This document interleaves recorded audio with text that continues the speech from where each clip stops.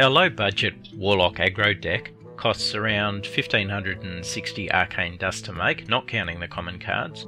Um, but it will help you start climbing the rankings, particularly between rankings 20 and 15. Look, with a good draw, this can present such pressure to your opponent in the early game that they will not be able to establish control. But should you have a bad draw, you can always gain some of the advantage back by sacrificing your health for card advantage with your hero power. However, keep in mind that using your hero power may give your opponent that slight edge needed to beat you, so be cautious if you are behind.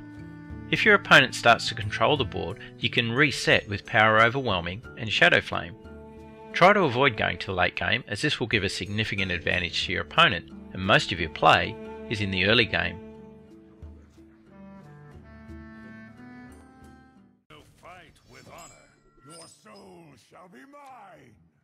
It's quite a decent starting hand here with the Voidwalker. We get life back from the Earthen Rings Farseer and we have a bit of removal with Soulfire. If we need to ramp it up we can use the Arcane Golem, so that's a keeper. Not the best hand I could get, but I can work with it. Just remember the Voidwalker will draw a lot of attention from the opponent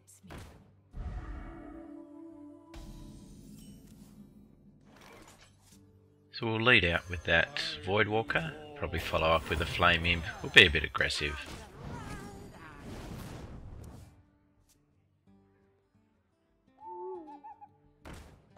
And see what I mean? That silence creature on the taunt. So we'll just get rid of that, that's a nice trade. And get in some damage while we can. So let's see how he responds to that.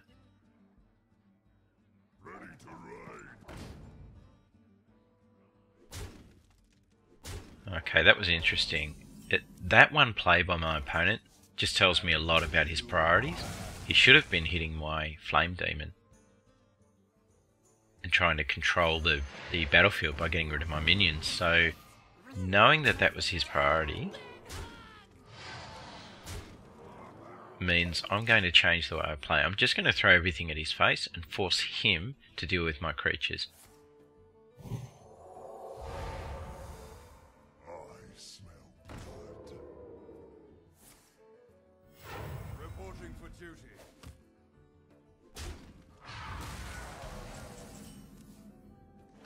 Always love to see a Blood Imp.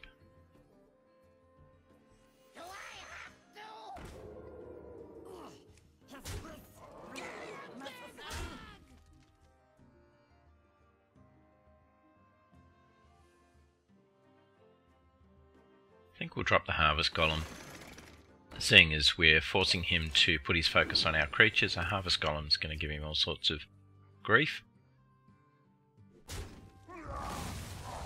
Notice how he's stopped hitting my face.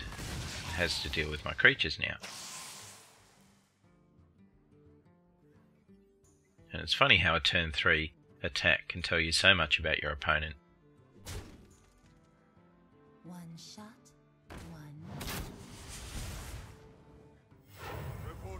Okay, so it's about time to get some life back. And a Leper Gnome's always good to have out there on the battlefield. So I'll get some life back first.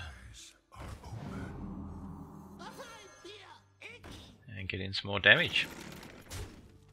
Now, I'm not going to throw the 4 damage at his head just yet. I've played enough Paladins to know that they can come down with a, a Blessing of the Kings and pump one of their creatures. So any one of those 1-1s could become a 5-5 which is why I'm holding that back in reserve. Now, I do have the game in hand, unless he plays a taunt creature. Don't really care about that legendary. And there we have it. Okay, so it's rank 15 and that was a fairly easy game. Stay tuned as we bring you more videos at rank 14.